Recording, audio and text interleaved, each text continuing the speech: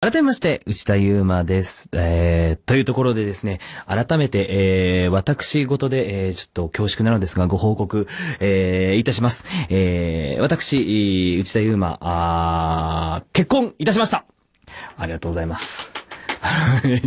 えー、お相手は、あ同じく声優の日高里奈さんと結婚いたしましたというところで、えー、まあやっぱりこう、大きな、えー、人間としての、まあね、やっぱこう、人生の大きなね、えー、転換点というか、また新たなね、成長の、おきっかけかなと、お思っております。まあ、内田祐馬ですね、えー、今30、1なんですけど、こっからさらに成長してですね、えー変わらずに、えー内田祐馬の活動を、これからも、よりパワーを増して頑張るぞという、そういう勢いにですね、えー変えて、これからもやっていきたいな、なんて、そんな風に思っております。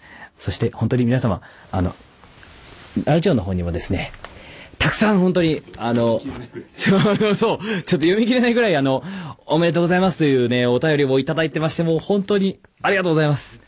ね、もう、はい、もうすべて私、あの、目を通させて、えーいただいております。本当に皆さんありがとうございます。マジででもね、こっからまたさらにパワーアップしていきますんで、どうぞよろしくお願いします。それよりもおめでとうリナ結婚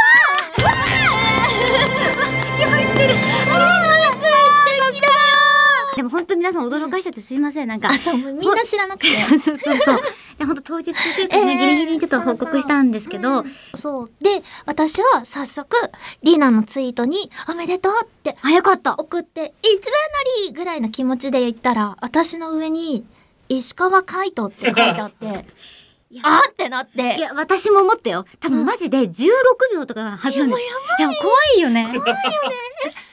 ああのね、多分、正月でゆっくりしまくってた？向こうとすごい仲いいからこそ多分重い人なんだよね、多分向こうとだって。そう。重いやつが。